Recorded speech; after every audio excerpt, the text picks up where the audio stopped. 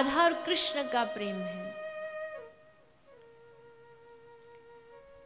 रानियों को लगा ऐसा कैसे हो सकता है कि दूध उन्होंने पिया और चरणों में छाले इनके पड़ गए? नहीं नहीं। आखिर आखिर क्या है ऐसा राधा में? कौन बताएगा हमें राधा रानी का चरित्र? कौन कहेगा कौन थी हमें राधा? किससे पूछें? वही तो बता सकता है जिसने राधा को देखा हो, राधा के संग रहा ऐसा कौन है यहाँ द्वारिका में? तो एक नाम याद आया। रोहिणी मैया। बलराम जी की जो माँ है, रोहिणी। रोहिणी के पास सब रानियाँ गई। पूछा, हमें बताओ, एक प्रश्न है। क्या प्रश्न है? प्रश्न है, कौन थी राधा? हंसने लगी रोहिणी मैया।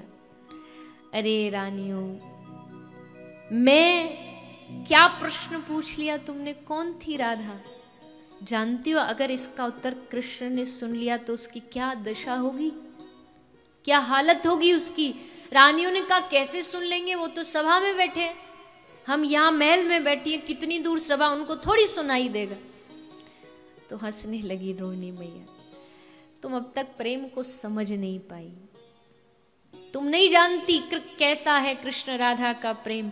एक चींटी को कितने भी किलोमीटर कोसों दूर जो मीठा होता ना, उसकी सुगंध आ जाती है। जहाँ राधा नाम होता है, चाहे कृष्ण लाखों कोस दूर हो, लेकिन उस राधा नाम को सुन करके कृष्ण अपने आप खिंचा चला आता तुम रोक नहीं पाओगी कृष्ण को।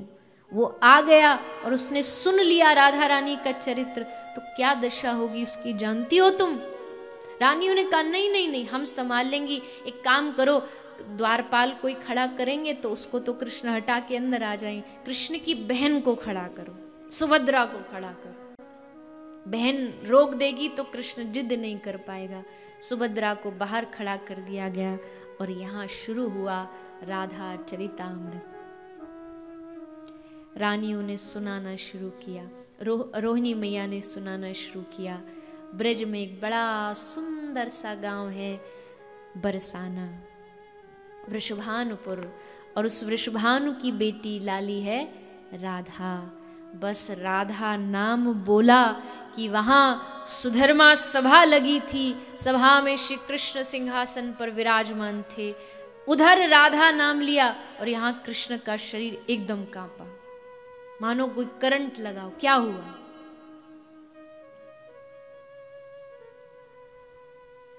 बलराम वही पास में विराजमान थे।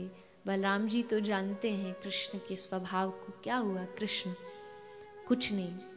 अपने आप को रोका कृष्ण ने, लेकिन वहाँ जैसे रोहिणी मैया ने श्री राधा चरितामृत की कथा आगे बढ़ाई एक समय आया जब कृष्ण अपना धैर्य धारण नहीं कर पाए, सभा छोड़ करके भागे, सब पीछे पीछे बलराम जी भाग रहे। अरे अरे कृष्ण रुको कृष्ण रुको, पर कृष्ण दौड़ते दौड़ते, भागते भागते दरवाजे पर आकर के खड़े हो गए।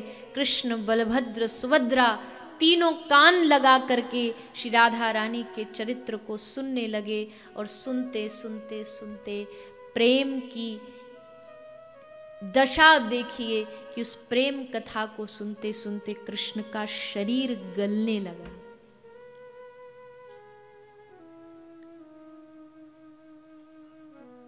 लोहा गल नहीं सकता, लेकिन लोहे पर अगर ताप, अग्नि लगाई जाए तो लोहा भी पिघल जाता है।